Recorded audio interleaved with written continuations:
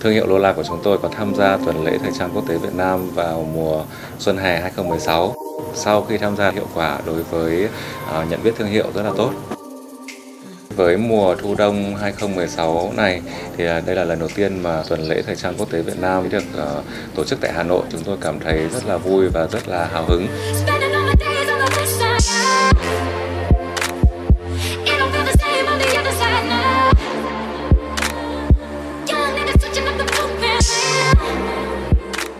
Để ba tính từ nói lên về bộ sưu tập giữa Vũ Tà Linh và Lula đó chính là ngẫu hứng nó được thể hiện qua âm nhạc và hội họa. Cái thứ hai đó chính là nữ tính đặc trưng của Lula. Điều thứ ba đối với tôi là cổ điển.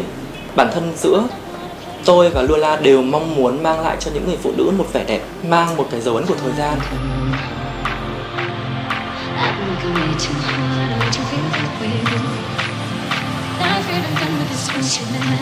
cái nguồn cảm hứng chính đó là về âm nhạc. Nó không có bất kỳ một cái điểm dừng.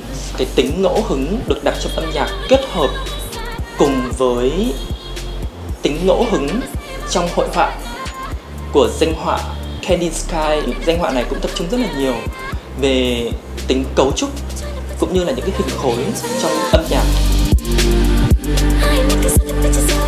Bộ siêu tập lần này hoàn toàn có tính ứng dụng rất là cao, mang tính nghệ thuật nhưng vẫn phải thương mại, nó phải gắn liền hơn với những người tiêu dùng. Thực sự cá nhân tôi nghĩ rằng đây là một bộ siêu tập rất là tiết chế, mọi người sẽ nhìn thấy những cái chi tiết rất thông minh về âm nhạc, về những kỹ thuật mọi người cũng sẽ mong muốn là mình được sở hữu những bộ trang phục như vậy đây là cái giai đoạn cuối cùng rồi. Chỉ còn một vài ngày nữa thôi là tuần lễ thời trang quốc tế Việt Nam lễ thu đông 2016 là sẽ diễn ra rồi. Cho nên thực sự là tất cả những mọi người đang dồn sức cho những bộ siêu tập lần này, hy vọng rằng mọi người sẽ đón nhận nồng nhiệt bộ siêu tập giữa Lola cũng như Vũ Ta Linh.